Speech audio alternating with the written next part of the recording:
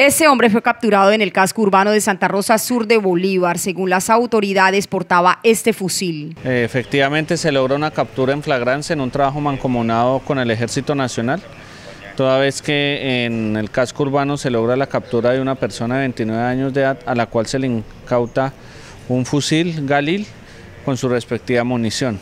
Igualmente, eh, al dejarse a disposición este fusil, se inician labores de policía judicial para determinar la procedencia del mismo. La captura se dio gracias a información de los ciudadanos. Desde luego es importante el control que realiza la Policía Nacional, las labores de patrullaje, los planes que realizan de registro, pero también es muy cierto que la información de la ciudadanía es la que nos permite lograr mejores resultados operativos. Investigan de dónde el detenido habría obtenido el arma de largo alcance.